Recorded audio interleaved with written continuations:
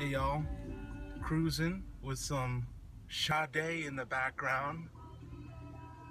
This is classic. Class I think it's late 80s or something. And Sade has not aged a, a day, although that's completely irrelevant. Thought I'd talk a little bit about harmony today.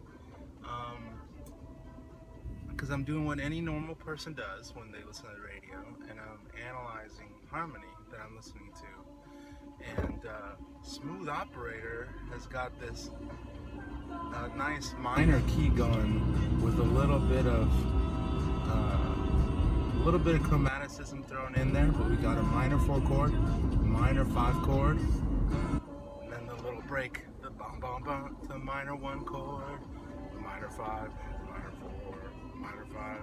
There's just three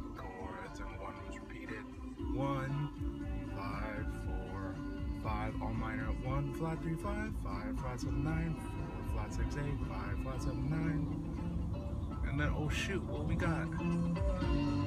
Oh shoot, we got a little bit of a solo. The same kind of chord progression, except they skip the 5 chord. Now, why does this matter to a musician or somebody who wants to make music? Well, you imagine the guitarist for Sade sitting in the studio and going, hey, Sade, know, can you tell me what to play? Can you imagine him like, Sade, what do I play here? Can you tell me how to play my instrument? No, what the what, the way it likely worked was guitarist said, hey, give me the give me the chord progression. I'm gonna come up with something amazing. And then they played this sick little 80s super like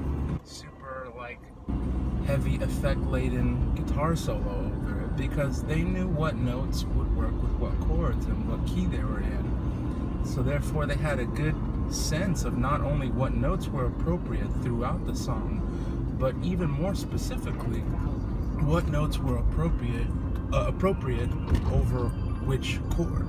So you not only have a sense of what notes work within the song, but what notes within a specific moment work with the song best.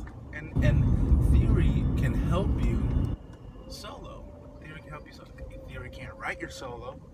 Theory won't make your solo awesome, but theory can make sure that your solo at least goes with the song. And so it can help you describe musical ideas like, hey, these notes belong here, these notes do not. What's our fancy word for that? That's a scale. And we got uh, lots of great words like that in music theory, especially when it pertains to harmony. If you're interested in harmony, check the check the harmony module. It's gonna drop soon. But you know, um, until then, keep analyzing keep analyzing harmony the way any normal person does when they listen to radio. Peace out. What's this one? I feel like this is so relaxing, just like the lady said earlier, 10 minutes earlier. The lady said 10, 10 most relaxing songs ever.